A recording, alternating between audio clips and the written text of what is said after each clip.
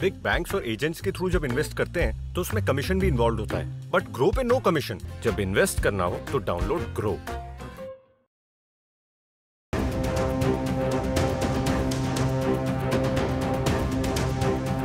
कहते हैं हर परेशानी आपको जीने का एक नया तरीका सिखा जाती है। कोरोना वायरस से भी शायद भारतीय रेलवे यही सीखने की कोशिश कर रहा है।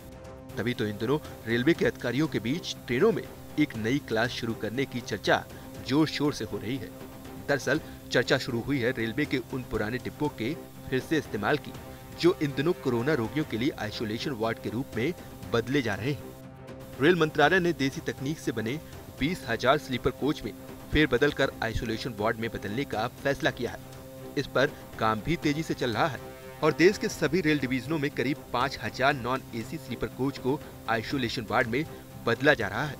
इनमें मिडिल बर्थ को काट कर हटाया जा रहा है, जिससे मरीजों को रखने पर भी डिस्टेंस बना रहे रेलवे के कुछ अधिकारियों का कहना है कि जब ये संकट खत्म हो जाएगा तो इन बीस हज़ार डिब्बों का क्या होगा? इन्हें ऑक्शन में बेच दिया जाएगा या फिर डिसइंफेक्ट करके फिर से गाड़ियों में जोड़ा जाएगा?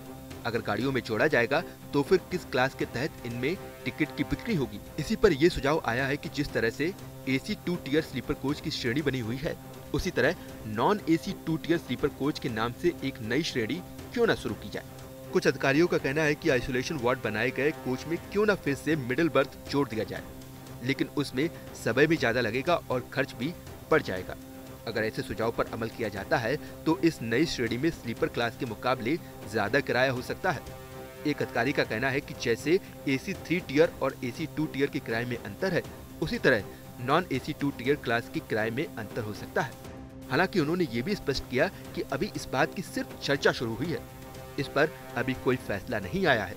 तो अगली बार जब आप ट्रेन टिकट बुक करने जाएँ और आपको नई क्लास दिखाई पड़े तो हैरान मत हुई